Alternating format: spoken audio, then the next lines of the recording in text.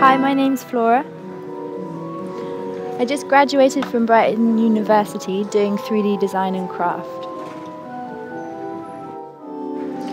So I've specialised in sculptural ceramics um, and I've been looking into weaving a sense of place into an object. Um, by this I've been taking impressions of different surface areas and then making tools from those impressions to imprint into the clay. Um, so In:Site was a really great opportunity because I could do this in a live brief um, and interact directly with the cathedral by taking impressions of certain areas and then building vessels from those impressions.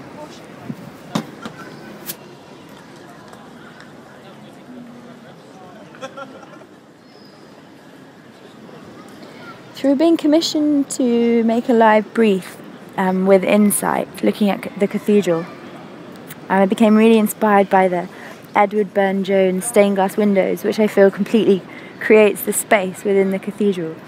Um, so I did started doing cutouts of sections of the stained glass windows, and I've made a triptych to create the space for the vessels to stand in.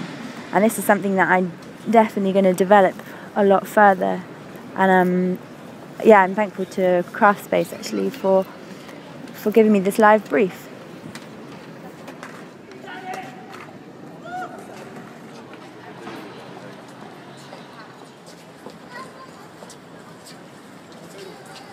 Yeah.